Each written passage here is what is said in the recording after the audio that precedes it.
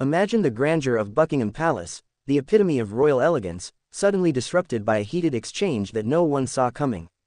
In a twist that could rival the most dramatic of soap operas, Prince Andrew's fiery words have left King Charles in a state of shock. What could have possibly driven a wedge between these royal brothers? Let's dive into the heart of this royal drama and uncover the surprising truths behind the headlines. Welcome viewers to my channel, please subscribe, like my video and turn on notifications so you don't miss our next update.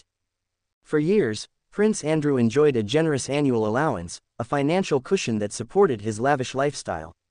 However, recent reports reveal that King Charles has decided to cut off this financial support, a move that has not gone down well with the Duke of York one. The decision to sever Prince Andrew's £1 million a year personal allowance has sparked a wave of controversy and anger too. But why did King Charles make such a drastic decision? The answer lies in a series of events that have tarnished Prince Andrew's reputation and strained his relationship with the royal family. From his controversial friendship with Jeffrey Epstein to the infamous BBC interview, Prince Andrew's actions have cast a long shadow over the monarchy. 3.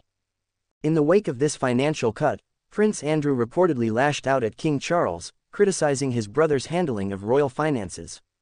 The Duke of York's angry words have not only shocked the king but also raised eyebrows among royal watchers and the public alike. What exactly did Prince Andrew say? While the exact details remain under wraps, sources close to the palace suggest that the exchange was anything but cordial for. The fallout from this confrontation has left the royal family divided. On one side, there are those who support King Charles's decision to cut off Prince Andrew's allowance, arguing that it was a necessary step to protect the integrity of the monarchy.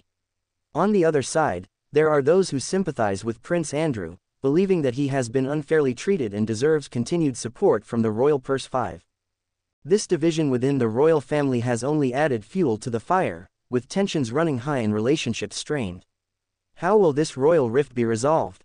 Only time will tell, but one thing is certain, the drama is far from over. The public's reaction to this royal drama has been equally divided. Some see King Charles's decision as a bold move to modernize the monarchy and distance it from scandal. Others view it as a harsh and unfair punishment for Prince Andrew, who they believe has already paid a high price for his past mistakes. 6. Social media has been abuzz with opinions, with hashtags like hashtag royal drama and hashtag Prince Andrew trending as people weigh in on the controversy. The debate has sparked a wider conversation about the role of the monarchy in modern society and the responsibilities that come with royal privilege. The financial implications. What does this mean for Prince Andrew? With his allowance cut off, Prince Andrew now faces significant financial challenges. The Duke of York will have to find new ways to fund his lifestyle and maintain his properties, including the Royal Lodge in Windsor. This financial strain could force Prince Andrew to make some tough decisions about his future. Will he be able to adapt to this new reality, or will the loss of his allowance push him further into the shadows? The answer to this question will have far-reaching implications for both Prince Andrew and the royal family as a whole. As the dust settles from this latest royal scandal, the question on everyone's mind is, what's next for the royal family? Will King Charles and Prince Andrew be able to mend their fractured relationship, or is this the beginning of a permanent rift within the monarchy? The future of the royal family hangs in the balance, and the decisions made in the coming months will shape the legacy of King Charles's reign. One thing is certain, the eyes of the world will be watching closely as this royal drama continues to unfold. The story of King Charles and Prince Andrew is a reminder of the complexities and challenges that come with royal life.